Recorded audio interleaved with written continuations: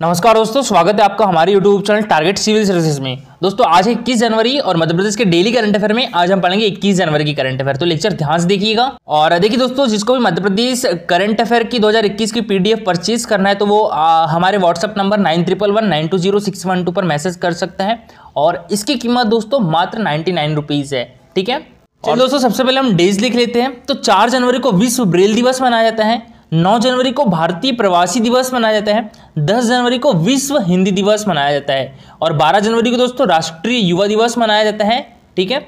और अंतर्राष्ट्रीय युवा दिवस का मनाया जाता है 12 अगस्त को मनाया जाता है। और दोस्तों 15 जनवरी को थल सेना दिवस, आठ अक्टूबर को मनाया जाता है फोर्स डे और चार दिसंबर को मनाया जाता है नेवी डे, ठीक है? तो याद रखिएगा 15 जनवरी को थल सेना दिवस 8 अक्टूबर को वायुसेना दिवस और चार दिसंबर को नौसेना दिवस मनाया जाता है। और देखिए दोस्तों, आज है 21 जनवरी और 21 जनवरी को मनाया जाता है मणिपुर स्थापना दिवस, मेघालय स्थापना दिवस और त्रिपुरा स्थापना दिवस, ठीक है? तो दोस्तों, पूर्वोत्तर क्षेत्र अधिनियम उन्नीस सौ इकहत्तर के तहत मणिपुर, मेघालय और त्रिपुरा को 21 जनवरी उन्नीस सौ बहत्तर को अलग अलग राज्य का दर्जा दिया गया था। दोस्तों, बात करें यहाँ पर मणिपुर की तो यह है मणिपुर। ये अपनी बॉर्डर किस देश के साथ शेयर करता है दोस्तों? म्यांमार के साथ शेयर करता है। और इसकी कैपिटल क्या है दोस्तों? इम्फाल है। इसमें सोलह डिस्ट्रिक्ट है। यहाँ के गवर्नर कौन है दोस्तों अभी? तो ये गणेशानंद है। और यहाँ के चीफ मिनिस्टर कौन है?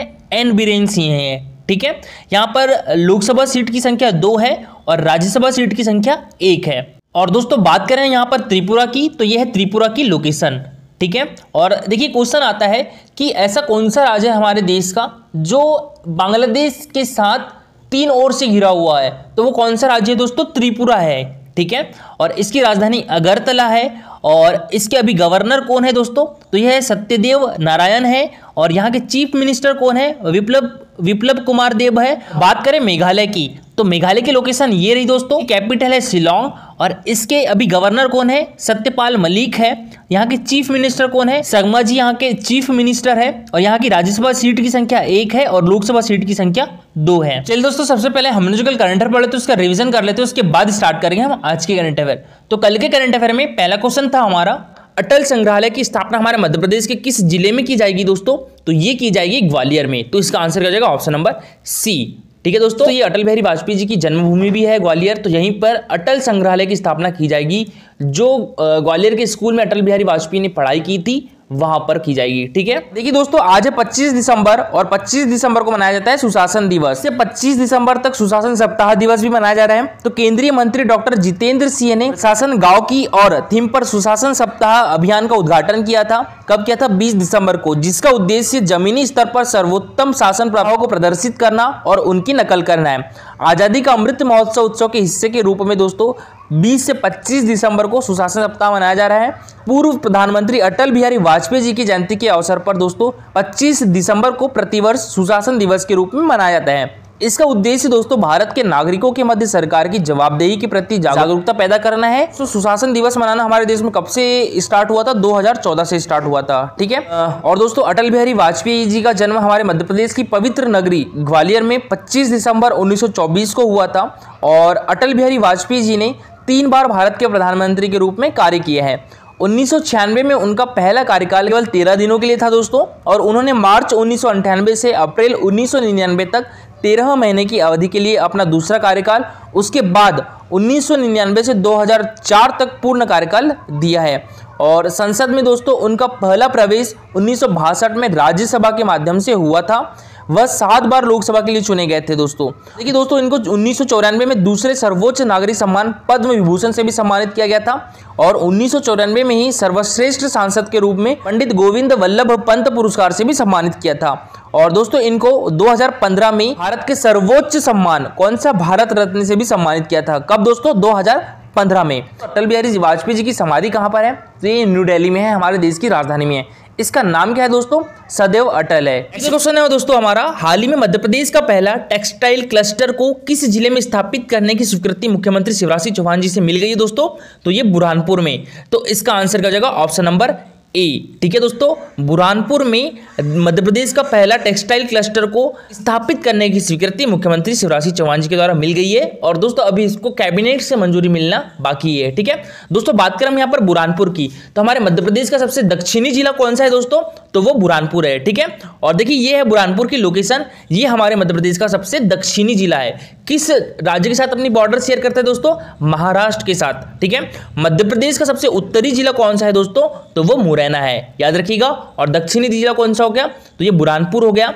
और यह है मध्य प्रदेश का सबसे पूर्वी जिला, सिंगरौली। और यह है मध्य प्रदेश का सबसे पश्चिमी जिला, अलीराजपुर। ठीक है? और देखिए दोस्तों, बुरहानपुर में एक बुरहानपुर ताप्ती मिल्स लिमिटेड उद्योग है। इसकी स्थापना 1906 में की गई थी। सूती कपड़ा एवं सूत का निर्माण करता है। और दोस्तों, अब मध्य प्रदेश का पहला टेक्सटाइल क्लस्टर का भी निर्माण कहाँ पर किया जाएगा? तो ये बुरहानपुर में किया जाएगा। नेक्स्ट क्वेश्चन दोस्तों, हमारा केंद्रीय गृह मंत्रालय ने देश का सर्वश्रेष्ठ आरक्षक ट्रेनिंग सेंटर के रूप में हमारे मध्य प्रदेश के किस ज़िले के पुलिस ट्रेनिंग सेंटर को चुना है दोस्तों? तो ये इंदौर के पुलिस ट्रेनिंग सेंटर को चुना है। तो इसका आंसर क्या हो जाएगा? ऑप्शन नंबर ए ठीक है? इंदौर। दोस्तों, हमारे केंद्रीय गृह मंत्री कौन है? तो ये है अमित शाह। और हमारे मध्य प्रदेश के गृह मंत्री कौन है दोस्तों? नरोत्तम मिश्रा है, ठीक है? तो दोस्तों, अभी हाल ही में केंद्रीय गृह मंत्रालय ने देश का सर्वश्रेष्ठ आरक्षक ट्रेनिंग सेंटर के रूप में इंदौर के पुलिस ट्रेनिंग सेंटर को चुना है। क्वेश्चन दोस्तों हमारा, हमारे मध्य प्रदेश गवर्नमेंट के द्वारा मास्क ही है ज़िंदगी अभियान कब से प्रारंभ किया जाएगा दोस्तों? तो ये 20 जनवरी से प्रारंभ किया जाएगा। तो इसका आंसर क्या जाएगा दोस्तों? ऑप्शन नंबर ए ठीक है? 20 जनवरी से दोस्तों हमारे मध्य प्रदेश में मास्क ही है ज़िंदगी अभियान स्टार्ट किया जाएगा। हाल ही में पूजा वस्त्रकार को महिला विश्व कप टीम में सम्मिलित किया गया है। इनका संबंध हमारे मध्य प्रदेश के किस डिस्ट्रिक्ट से है दोस्तों? तो इनका संबंध है शहडोल डिस्ट्रिक्ट से। तो इसका आंसर क्या हो जाएगा ऑप्शन नंबर ए और दोस्तों ये है पूजा वस्त्रकार किस डिस्ट्रिक्ट से दोस्तों? शहडोल डिस्ट्रिक्ट से है। और इनको अभी देखिए, जो विश्व कप होना है मार्च 2022 में कहाँ पर होगा दोस्तों? ये न्यूजीलैंड में आयोजित किया जाएगा, मार्च और अप्रैल में, ठीक है? तो भारतीय टीम में हमारे मध्य प्रदेश की बेटी पूजा वस्त्रकार को भी शामिल किया गया है। दोस्तों, हमारा दिव्यांगों के यूडी आईडी कार्ड बनाने में किस राज्य ने प्रथम स्थान हासिल किया दोस्तों? तो ये हमारे प्यारे मध्य प्रदेश ने तो इसका आंसर हो जाएगा ऑप्शन नंबर सी ठीक है दोस्तों? अभी देखिए, मध्य प्रदेश ने दिव्यांगों के यूडी आईडी कार्ड बनाने में प्रथम स्थान हासिल किया है। यू डी आई डी इसकी फुल फॉर्म क्या होती है दोस्तों? Unique disability identification card question दोस्तों हमारा, हाल ही में किस राज्य सरकार के द्वारा भवन विकास निगम का गठन किया गया है दोस्तों? तो ये हमारे मध्य प्रदेश गवर्नमेंट के द्वारा भवन विकास निगम का गठन किया गया है। तो इसका आंसर क्या जाएगा? ऑप्शन नंबर सी ठीक है? मध्य प्रदेश गवर्नमेंट के द्वारा भवन विकास निगम का गठन किया गया है। नेक्स्ट क्वेश्चन है हमारा, आदिगुरु आचार्य शंकराचार्य की बहुधातु प्रतिमा। यानी स्टेच्यू ऑफ़ वेननेस ओमकारेश्वर में स्थापित होगी दोस्तों। इसकी ऊंचाई कितनी होगी? तो ये होगी 108 फीट। तो इसका आंसर क्या हो जाएगा? Option number B. और दोस्तों ओमकारेश्वर कहाँ पर स्थित है ये? किस ज़िले में स्थित है ये? तो ये हमारे मध्य प्रदेश के खंडवा डिस्ट्रिक्ट में है। और देखिए दोस्तों, हमारे देश में बारह ज्योतिर्लिंग है, जिसमें से हमारे मध्य प्रदेश में दो ज्योतिर्लिंग है। कहाँ कहाँ पर? एक तो महाकालेश्वर, जो कि उज्जैन में स्थित है, और एक ओमकारेश्वर ये कहाँ पर स्थित है? खंडवा डिस्ट्रिक्ट में स्थित है, ठीक है? देखिए, ओमकारेश्वर किस नदी के किनारे है? तो ये नर्मदा नदी के किनारे है। और नर्मदा नदी की लंबाई दोस्तों कितनी है? सबसे लंबी नदी है हमारे मध्य प्रदेश की, इसकी लंबाई है तेरह बारह किलोमीटर। और मध्य प्रदेश में इसकी लंबाई कितनी है दोस्तों? तो एक हज़ार सतहत्तर किलोमीटर। इसका उद्गम स्थल जो है, अमरकंटक से है, जो कि अनूपपुर डिस्ट्रिक्ट में है। और अनूपपुर डिस्ट्रिक्ट से दो महत्वपूर्ण नदियों का उद्गम स्थल है अमरकंटक से। कौन कौन सी? एक तो सोन नदी और एक नर्मदा नदी। तो हमारा पच्चीसवें राज्य स्तरीय युवा महोत्सव का आयोजन हमारे मध्य प्रदेश के किस डिस्ट्रिक्ट में किया गया दोस्तों? तो ये हमारे मध्य प्रदेश की राजधानी भोपाल में किया गया तो इसका आंसर क्या जाएगा ऑप्शन नंबर बी भोपाल में पच्चीसवें राज्य स्तरीय युवा महोत्सव का आयोजन किया गया। दोस्तों अभी स्टार्ट करते हैं आज की करंट अफेयर तो आज की करंट अफेयर में पहला क्वेश्चन है हमारा भाभा एटॉमिक रिसर्च सेंटर। इसको दोस्तों बार्क भी बोला जाता है। तो इसकी तकनीक सीवेज के कचरे को खाद में बदलने वाले संयंत्र की शुरुआत हमारे मध्य प्रदेश के किस ज़िले में होगी दोस्तों? तो ये होगी हमारे मध्य प्रदेश के आर्थिक एवं औद्योगिक राजधानी इंदौर में। तो इसका आंसर क्या हो जाएगा ऑप्शन नंबर ए, ठीक है इंदौर। दोस्तों, सबसे पहले हम बात करें बार्क की। इसकी फुल फॉर्म क्या होती है? Bhabha atomic research centre. इसकी स्थापना कब हुई थी दोस्तों? तीन जनवरी उन्नीस सौ चौवन को हुई थी। और इसके फाउंडर कौन थे? होमी जहांगीर बाबा थे। और इसका हेडक्वार्टर कहाँ पर है? ट्रॉम्बे में। ट्रॉम्बे कहाँ पर है? मुंबई में है। और इसके भी डायरेक्टर कौन है दोस्तों? तो ये है अजीत कुमार मोहंते। दोस्तों हमारा हाल ही में वरिष्ठ पूर्व विधायक लक्ष्मी नारायण गुप्ता जी का निधन हो गया है। दोस्तों, इनका संबंध हमारे मध्य प्रदेश के किस ज़िले से है?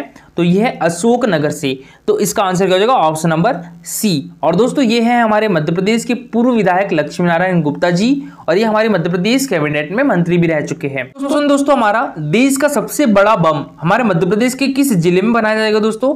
तो ये बनाया जाएगा हमारे मध्य प्रदेश की संस्कार राजधानी जबलपुर में। तो इसका आंसर क्या हो जाएगा? Option number D. ठीक है, जबलपुर। और जबलपुर में कहाँ पर दोस्तों? ऑर्डिनेंस फैक्ट्री खमरिया में। चलिए दोस्तों, अब स्टार्ट करते हैं आज की करंट अफेयर। तो आज की करंट अफेयर में पहला क्वेश्चन है हमारा, हाल में मध्य प्रदेश का पहला ट्रैफ़िक बूथ किस ज़िले में बनाया गया दोस्तों? तो ये बनाया गया है हमारे मध्य प्रदेश की राजधानी भोपाल में। तो इसका आंसर क्या जाएगा ऑप्शन नंबर बी ठीक है? भोपाल में दोस्तों, मध्य प्रदेश का पहला ट्रैफ़िक बूथ बनाया गया है, ठीक है? तो देखिए, मध्य प्रदेश विधानसभा के सामने मध्य प्रदेश का पहला कटनी स्टोन से बना ट्रैफ़िक बूथ तैयार हो गया है और अब तक ट्रैफ़िक पुलिस हल्के बूथ का ही इस्तेमाल करती थी। एग्जीक्यूटिव इंजीनियर अनिल टटवाड़े ने बताया कि इस इस बूथ पर फ्लड लाइट भी लगाई गई है और दूसरे चरण में विधानसभा गेट फ़र्स्ट के सामने भी ऐसा ही एक और बूथ बनाया जाएगा। इसके लिए करीब बाईस लाख रुपए खर्च किए जा रहे हैं। ठीक है दोस्तों? तो याद रखिएगा, मध्य प्रदेश का पहला ट्रैफ़िक बूथ कहाँ बना गया है? तो हमारे मध्य प्रदेश की राजधानी भोपाल में बनाया गया है। नेक्स्ट क्वेश्चन दोस्तों हमारा, केंद्र सरकार के नर्चरिंग नेबरहुड चैलेंज में किस स्मार्ट सिटी को पुरस्कृत किया गया है दोस्तों? तो ये किया गया है हमारे मध्य प्रदेश की संस्कार राजधानी जबलपुर को। तो इसका आंसर क्या जाएगा ऑप्शन नंबर ए दोस्तों। केंद्र सरकार के नेचरिंग नेबरहुड चैलेंज में जबलपुर स्मार्ट सिटी को पुरस्कृत किया गया है, ठीक है? तो देखिए, आवास एवं शहरी कार्य मंत्रालय भारत सरकार के स्मार्ट सिटी मिशन के अंतर्गत चलाए गए नर्चरिंग नेबरहुड चैलेंज में स्मार्ट सिटी जबलपुर को पुरस्कृत किया गया है और इस प्रतियोगिता में 100 स्मार्ट सिटीज़ में से बेहतर कार्य करने वाले टॉप 10 शहरों को पुरस्कृत किया गया है, जिसमें जबलपुर भी शामिल है और Kunal Kumar mission director smart city mission Bharat सरकार द्वारा अवार्ड की घोषणा की गई है। और यह जबलपुर के लिए एक बड़ी उपलब्धि भी है दोस्तों। नर्चरिंग नेबरहुड चैलेंज का मुख्य उद्देश्य क्या है? तो शून्य से पाँच वर्ष के बच्चों के लिए अनुकूल माहौल तैयार करने, मूलभूत सुविधाओं को बढ़ाने की दिशा में कार्य करना तथा ऐसे क्षेत्रों को विकसित करना जहाँ बच्चे अपने अभिभावकों के साथ सुरक्षित घूमे एवं खेलकूद कर सके। दोस्तों, सौ स्मार्ट सिटी में से हमारे मध्य प्रदेश में कितनी स्मार्ट सिटी बन रही है? तो ये बन रही है सात। कौन कौन सी? तो एक तो ग्वालियर दोस्तों, एक उज्जैन इंदौर, एक हमारे मध्य प्रदेश की राजधानी भोपाल, जबलपुर, सागर एक सतना, ठीक है? दोस्तों, ये हमारे मध्य प्रदेश में सात स्मार्ट सिटी बन रही है और हमारे देश में कुल सौ स्मार्ट सिटी बन रही है, ठीक है? नेक्स्ट क्वेश्चन दोस्तों, हमारा, किस ज़िले की सुकन्या गुप्ता ने इस्तांबुल में महिला एशियन गेम्स में आठ गोल्ड मेडल जीती है, दोस्तों? तो ये किस ज़िले की है, दोस्तों? तो ये हमारे मध्य प्रदेश अलीराजपुर डिस्ट्रिक्ट की है। तो इसका आंसर क्या हो जाएगा? ऑप्शन नंबर डी ठीक है? अलीराजपुर डिस्ट्रिक्ट की दोस्तों सुकन्या गुप्ता ने इस्तांबुल में महिला एशियन गेम्स में आठ गोल्ड मेडल जीते हैं। और दोस्तों ये है सुकन्या गुप्ता। दोस्तों बात करें हम यहाँ पर इस्तांबुल की तो ये टर्की की एक सिटी है ठीक है? और टर्की की कैपिटल क्या है दोस्तों? अंकारा है। दोस्तों अलीराजपुर नगर की होनहार बेटी सुकन्या गुप्ता ने हाल ही में टर्की के इस्तांबुल में हुई पावर लिफ्टिंग स्पर्धा में आठ गोल्ड मेडल जीते हैं। और सुकन्या इस खेल की हर कैटेगरी में अव्वल रही है। साथ ही ओवरऑल चैंपियन का खिताब भी हासिल किया है। नगर के गुप्ता परिवार की बिटिया सुकन्या की स्कूल और कॉलेज की पढ़ाई अलीराजपुर में हुई है। उन्होंने शासकीय कन्या हायर सेकेंडरी स्कूल से कक्षा बारहवीं तक पढ़ाई की है। दोस्तों, सुकन्या गुप्ता को इस्तांबुल में हुई महिलाओं के एशियन पावर लिफ्टिंग स्पर्धा में भारत के प्रतिनिधित्व का अवसर मिला और इस स्पर्धा में सुकन्या ने आठ गोल्ड मेडल हासिल किए हैं, जो इस ज़िले के लिए खुशी की बात है दोस्तों। और दोस्तों, बात करें हम यहाँ पर अलीराजपुर की तो यह है अलीराजपुर डिस्ट्रिक्ट की लोकेशन ठीक है? और इसका गठन कब किया गया था दोस्तों? 19 मई 2008 को किया गया था। ये हमारे मध्य प्रदेश का उनचासवा डिस्ट्रिक्ट है, ठीक है?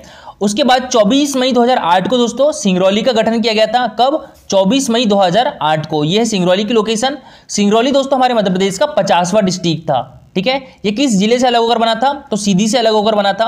और ये अपनी बॉर्डर किस राज्य के साथ शेयर करता है? तो यूपी के साथ और छत्तीसगढ़ के साथ। अलीराजपुर किस ज़िले से अलग होकर बना था? झाबुआ से अलग होकर बना था। ये अपनी बॉर्डर किस राज्य के साथ शेयर करता है? तो ये करता है दोस्तों गुजरात और महाराष्ट्र, ठीक है? और झाबुआ किस राज्य के साथ अपनी बॉर्डर शेयर करता है? तो एक तो गुजरात हो गया और यहाँ पर राजस्थान हो गया, ठीक है? और देखिए, उनचासवा जिला अलीराजपुर, पचासवा सिंगरौली और मालवा आगर मालवा शाजापुर से अलग होकर बना था। ये अपनी बॉर्डर किस राज्य के साथ शेयर करता है? तो राजस्थान के साथ करता है। और दोस्तों, बात करें हमारे मध्य प्रदेश का बावनवा जिला कौन सा है? तो ये है निवाड़ी, ठीक है? ये किस ज़िले से अलग होकर बना था? टीकमगढ़ ज़िले से अलग होकर बना था। और ये अपनी बॉर्डर किस राज्य के साथ शेयर करता है? तो यूपी के साथ करता है। और दोस्तों, कल का हमारा क्वेश्चन था। ये एमबीपीएससी 2008 में पूछा गया था, आदिम जाति कुरकू मध्य प्रदेश में कहाँ पाई जाती है दोस्तों? तो ये दक्षिण के ज़िले में पाई जाती है। तो इसका आंसर क्या हो जाएगा? ऑप्शन नंबर ए ठीक है, दोस्तों, यहाँ बात करें हम जनजाति की तो देखिए, हमारे मध्य प्रदेश की तीन अत्यंत पिछड़ी जनजाति कौन सी है, दोस्तों? तो यह है बैगा, सहरिया और भारिया, ठीक है? तीन अत्यंत पिछड़ी जनजाति कौन सी है? बैगा, सहारिया और भारिया है। आज का सबसे अच्छा आंसर देवांशु गुप्ता ने किया है। और आज के लिए आपका क्वेश्चन है, चंबल परियोजना में मध्य प्रदेश के साथ किस और राज्य की भागीदारी है? उत्तर प्रदेश, गुजरात, राजस्थान या महाराष्ट्र? तो इसका आंसर पूरा डिटेल में दीजिएगा, दोस्तों।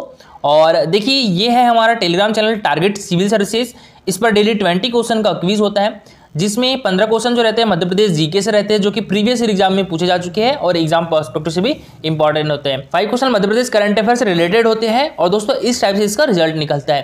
तो दोस्तों, आप भी इस क्विज में पार्टिसिपेट कर सकते हो। टेलीग्राम चैनल की लिंक आपको हमारे वीडियो के डिस्क्रिप्शन बॉक्स में मिल जाएगी।